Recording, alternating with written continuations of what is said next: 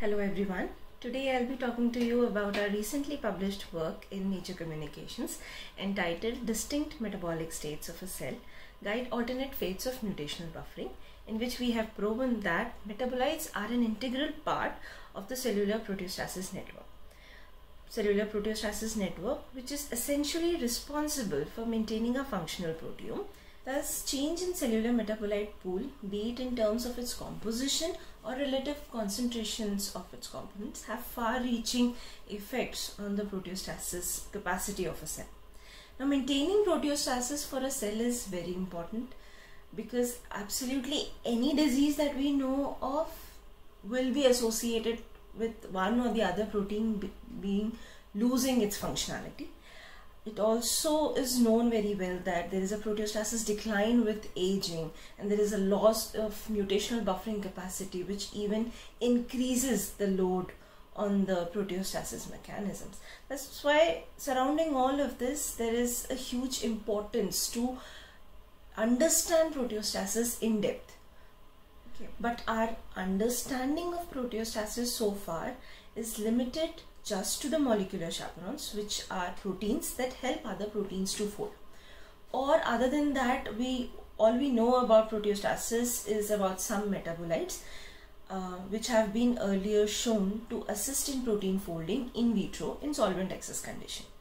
But what is important to note here is that these metabolites which assist in protein folding are an integral part of the cellular metabolism and they should have some effect at their endogenous concentrations as well. And that brings us to uh, the major hypothesis of this study that metabolites, even at their physiological endogenous concentrations, have an effect on protein folding and mutational buffering capacity of the cell. We have tested this hypothesis on E. coli which is a unicellular prokaryotic organism. Its metabolic gene regulatory network and protein quality control network is very well characterized.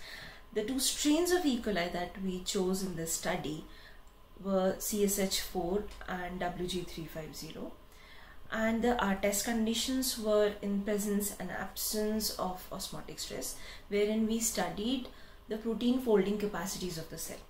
Now the two reporter proteins that we have used are GFP, green fluorescent protein, which can be studied using flow cytometry and GMR which is gentamicin acetyl transferase that confers resistance against the antibiotic gentamicin that could be studied in a qualitative manner as well as in a quantitative manner using deep sequencing data.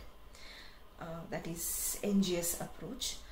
Uh, so what we did for this study is we developed a comprehensive library of mutants on these two proteins wherein each mutant now would follow its own trajectory for folding and give us information of that particular folding pathway of a cell.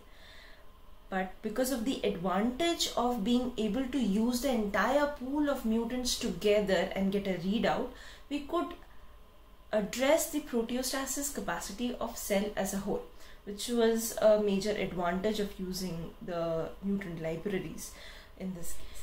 Interestingly, the spectrum of mutations that were buffered without osmotic stress to these two strains was different from the spectrum of mutations that were buffered after osmotic stress in the two strains itself. But the common feature of all these buffered mutants was that all of them were compromised folders in vitro. That means when we measure their native fluorescence in vitro, they all were similarly fluorescent or had similar activity. But the difference in these mutants was in their folding kinetics, as in the mutants folded slower than the wild type protein. So these were all compromised folders and that is why the enhancement in protein folding or activity that we see in WG350 under osmotic stress was more likely because WG350 was somehow making its environment more conducive for folding of these mutant proteins and thereby giving us higher activity of these mutant proteins. Since but we observe mutational buffering only under osmotic stress, the obvious thing to check was osmotic stress response via molecular chaperones because that is what we know about proteostasis. But surprisingly, these molecular chaperones were not induced at their RNA level, at their protein level. In fact, even their overexpression did not assist in folding of these mutants and give us a buffered phenotype in vivo. Additionally, in vitro refolding of these mutants was also not accelerated by these molecular chaperones, suggesting that the observed mutational buffering of these mutants was not channeled through the molecular chaperones. But then what was leading to the increase in activity of these mutants was the question.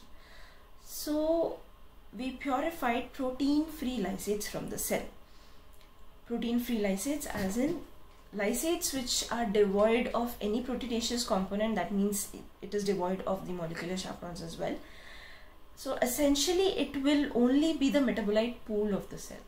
And this protein free lysate independently could substantially accelerate the refolding of these mutants in vitro suggesting that metabolites independent of molecular chaperones could also assist in protein folding and they might be responsible for the observed mutational buffering.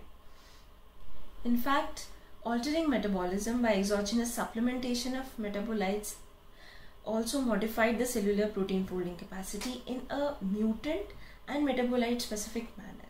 This indicated towards the prominent role of metabolites and metabolism as a whole in governing cellular differences in protein folding capacity.